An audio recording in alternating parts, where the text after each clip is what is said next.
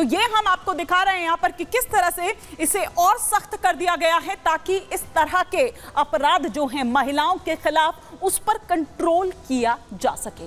इसी से जुड़ी एक रिपोर्ट आपको दिखाते हैं।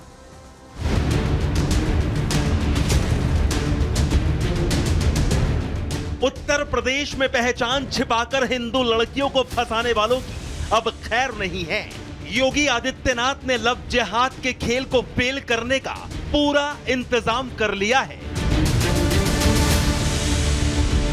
यूपी विधानसभा में लव जेहाद के खिलाफ कानून पास हो गया है।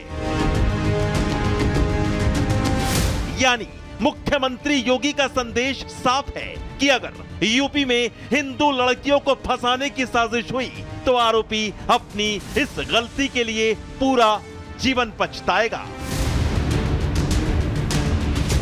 मुख्यमंत्री योगी के नए कानून में सिर्फ़ लव जिहाद पर ही सख्ती नहीं की गई है, बल्कि अवैध धर्मांतरण के नियमों को भी इसमें जोड़ा गया है।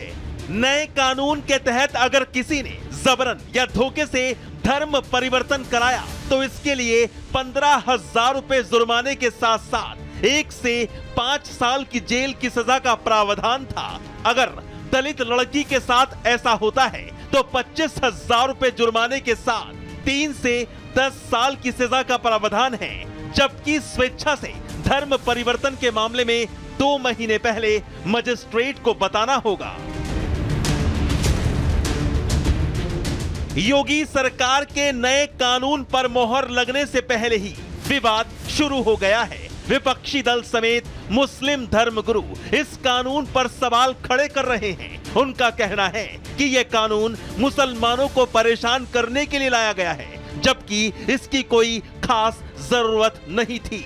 ऐसे में सवाल यह है कि योगी के नए कानून से विपक्ष क्यों परेशान हो उठा है? आखिर क्यों मुस्लिम धर्मगुरु इस कानून का विरोध कर रहे हैं? Bureau report, Republic Bharat.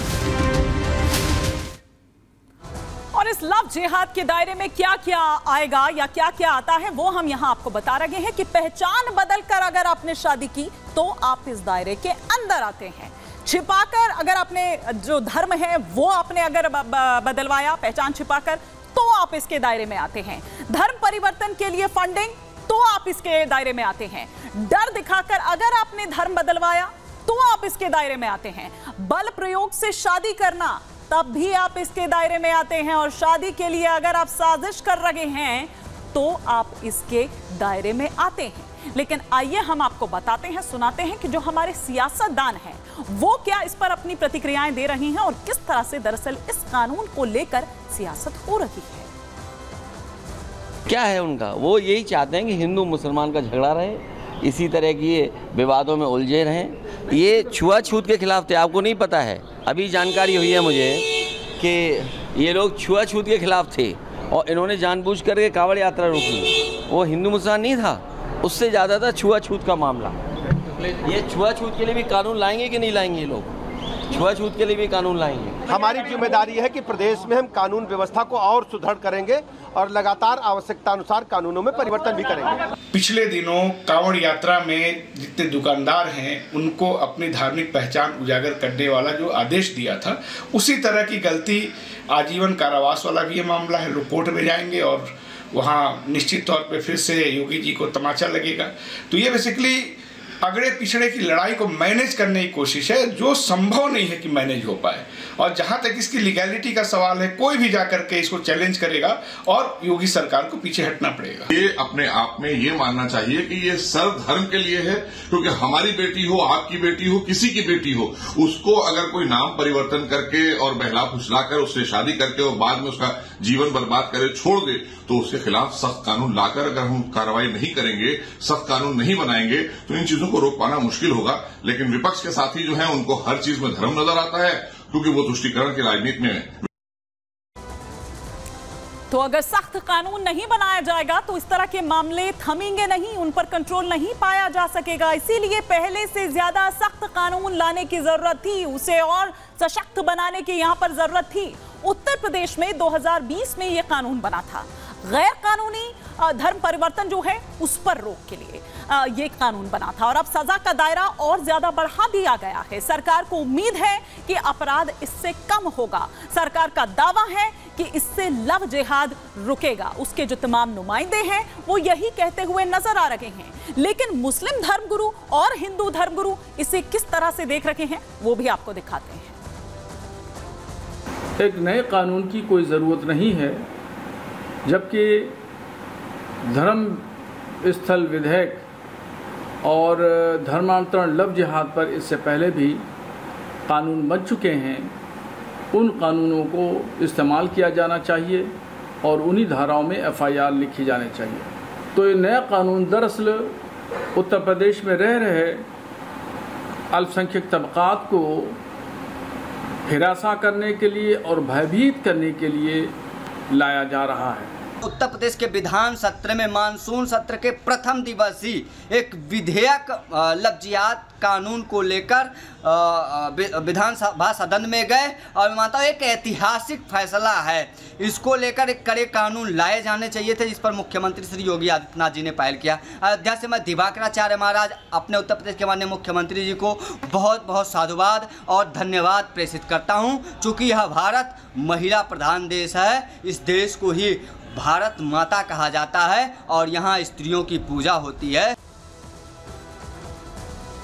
और आइए अब बढ़ते हैं आगे अपने नेक्स्ट सेगमेंट की तरफ़ और बात करते हैं केरल की। केरल के वायनाड की।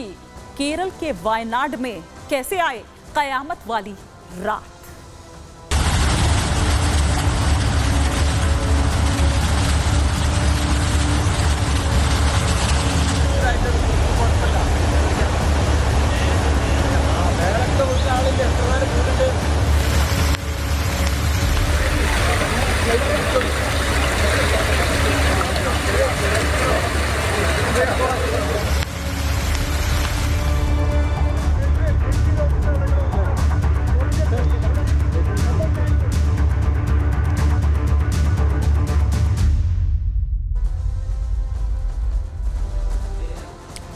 तो केरल के वायनाड की हम बात कर रहे हैं कि किस तरह से वहाँ पर कयामत वाली रात आती है, क्यों हम कयामत वाली रात कह रहे हैं? क्योंकि जब दरअसल ये प्रलय केरल में आती है, उस वक्त लोग सो रहे थे।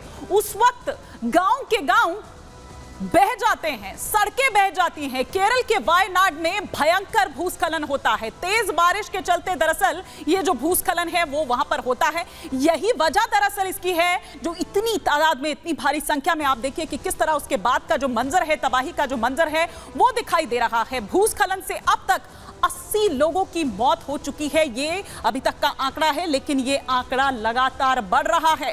भूस्खलन में 70 से ज़्यादा लोग घायल हुए हैं। और देखिए, एक बार तो भूस्खलन हो रहा था, उसके लिए रेस्क्यू चल ही रहा था कि दोबारा भूस्खलन होता है। उस जगह पर आप सोचिए कि क्या स्थिति रही होगी। इस भूस्खलन में सैकड़ों लोग, उनका कहीं आता पता नहीं है, वो बह गए हैं। वायनाड में कल रात तीन बार ये भूस्खलन आता है। आप सोचिए कि उन लोगों को, उनको वहाँ से रेस्क्यू करने में कितनी मुश्किल आ रही थी? मौके पर राहत बचाव का काम भले ही जारी हो, लेकिन किस तरह की समस्या से दो चार उनको होना पड़ रहा है? किस तरह के चैलेंजेस जो है, वो उस टीम के आगे आ रहे हैं? एनडीआरएफ एनडीआरएफ एनडीआरएफ और एसडीआरएफ जो है, वो वहाँ पर इस वक्त जुटी हुई है। साथ ही साथ सेना को भी वहाँ पर लगाया गया है। अब तक कई सौ लोगों को बचाया भी गया है। उनको सुरक्षित स्थानों तक पहुँचाया गया है। रक्षा मंत्री की ओर से भी निर्देश दिया गया है और उसी पर पहुँची है वहाँ पर सेना की टुकड़ी। सेना को भी उतारा गया है। वहाँ पर वायनाड में सेना, हेलीकॉप्टर बचाव कार्य में जुटे हुए हैं।